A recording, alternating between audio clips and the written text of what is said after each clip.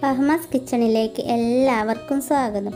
ഇന്ന് നമ്മൾ തയ്യാറാക്കുന്ന നല്ലൊരു മാംഗോ പുഡിംഗ് ആണ് കേട്ടോ ഇത് വളരെ സിമ്പിളാണ് തയ്യാറാക്കാനായിട്ട്. കഴിക്കാനാണെങ്കിലോ ഭയങ്കര ടേസ്റ്റിയുമാണ് പിന്നെ വീഡിയോ ഇഷ്ടമാണെങ്കിൽ ലൈക്ക് ചെയ്യാനും കമന്റ് ചെയ്യാനും ഷെയർ ചെയ്യാനും മറക്കില്ല കേട്ടോ പിന്നെ ഇതുവരെ നിങ്ങൾ സബ്സ്ക്രൈബ് ചെയ്തില്ലെങ്കിൽ പ്ലീസ് ഒന്ന് സബ്സ്ക്രൈബ് ചെയ്തേക്കണേ.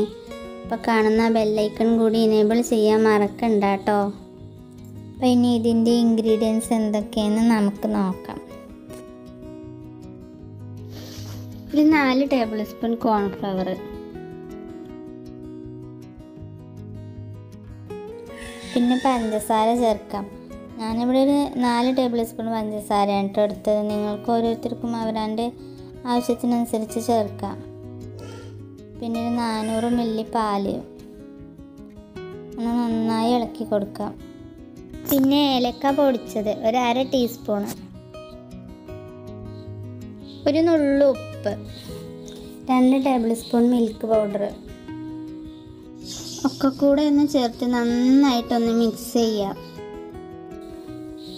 നന്നായി മിക്സ് ആക്കണേ കട്ടയൊക്കെ ശരിക്കും ഉടക്കണം. നമുക്ക് സ്റ്റൗവിൽ വെക്കാം. ലോ ടു മീഡിയം ഫ്ലെയിമിൽ ഇടണം കേട്ടോ കൈ എടുക്കാതെ ഇളക്കിക്കൊണ്ടേയിരിക്കണം.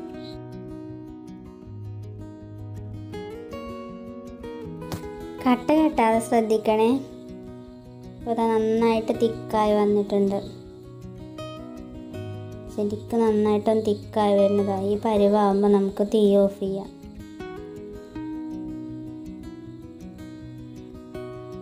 ഇനി ഇതിലേക്ക് കുറച്ച് മാംഗോ ചെറുതായിട്ട് കട്ട് ചെയ്തതാണ്. അതും ചേർത്ത് കൊടുക്കാം പിന്നെ കുറച്ച് ബദാം അതും ചെറുതായിട്ട് കട്ട് ചെയ്തതും ചേർത്ത് നന്നായിട്ടൊന്ന് മിക്സ് ചെയ്യുക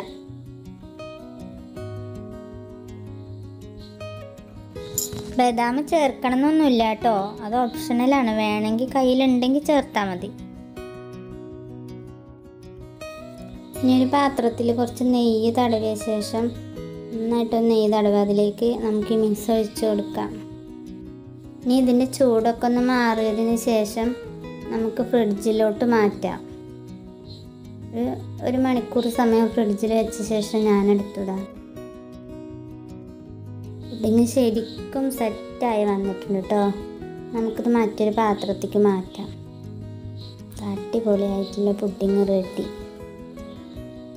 ഭയങ്കര ടേസ്റ്റ് തന്നെയാണ് കേട്ടോ നമുക്ക് കുറച്ച് വിപ്പിംഗ് ക്രീം അപ്ലൈ ചെയ്യാം.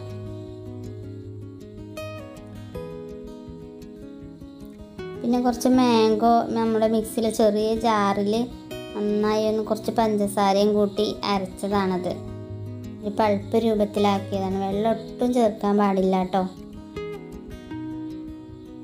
അതും ഇതിലേക്ക് അപ്ലൈ ചെയ്ത ശേഷം ഇതാ അടിപൊളിയായിട്ടുണ്ട് നമ്മൾ പുഡിങ് കാണുന്നത് പോലെ തന്നെയാണ്. കഴിക്കാനായിട്ട് ഭയങ്കര ടേസ്റ്റാണ് കേട്ടോ. തീർച്ചയായിട്ടും നിങ്ങളെല്ലാവരും ഇതൊന്ന് ട്രൈ ചെയ്ത് നോക്കണം. എന്നിട്ട് അഭിപ്രായങ്ങൾ കമന്റ് ചെയ്യാൻ മറക്കരുതേ.